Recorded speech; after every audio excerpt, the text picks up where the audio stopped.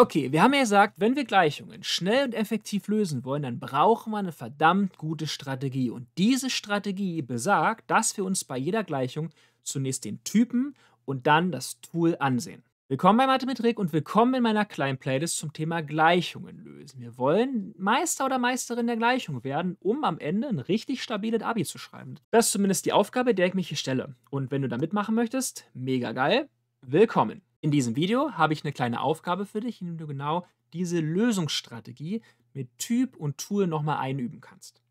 Die Aufgabe lautet wie folgt. Benenne zu den folgenden Gleichungen jeweils Typ und Tool. Ich habe hier 10 Gleichungen.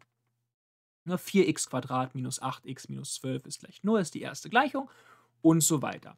10 Gleichungen und deine Aufgabe besteht jetzt darin, zu jeder Gleichung den passenden Typen und das passende Tool zu notieren. Aufgabe also, benenne jeweils Typ und Tool. Ich werde die Lösung dieser Aufgabe hier in diesem Video nicht liefern, sondern ich bitte dich darum, deine Lösung in die Kommentare zu schreiben. Dann kann ich einzeln darauf eingehen und wir können mal gucken, ob das alles klar geht. Und wenn du total lost bist und gar nicht weißt, was du tun sollst, schau gerne nochmal in das Übersichtsvideo. Das verlinke ich dir auch nochmal. Nice. Danke dir fürs Mitmachen. Ich verlinke dir hier noch ein paar weitere Videos zum Thema Gleichungen lösen.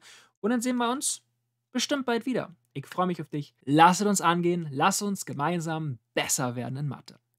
Bleib stark und auf bald. Ciao und tschüss. Dein Rick.